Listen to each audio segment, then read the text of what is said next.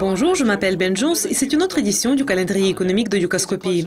Voici une révision des publications les plus importantes prévues pour lundi le 24 novembre. Les marchés du Japon seront fermés comme c'est le jour du travail.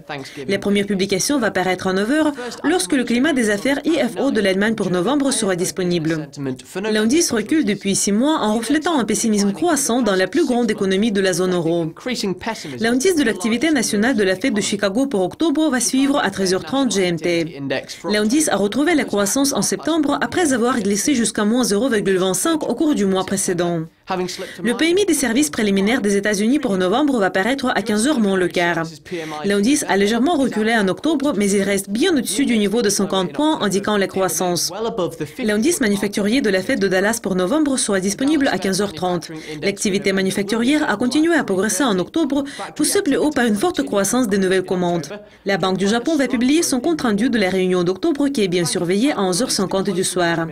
La réunion a surpris les marchés quand les décideurs politiques ont élargi leur objectif de la base monétaire. Et encore un événement d'une grande importance pour les traders du yen va paraître à une heure lorsque le gouverneur de la Banque du Japon, Haruhiro Kuroda, va faire un discours lors de la réunion avec les chefs d'entreprise à Nagoya. Bon, c'est tout pour le calendrier économique de lundi. Nous allons revenir avec notre prochaine révision des événements clés pour mardi. Mais pour le moment, au revoir.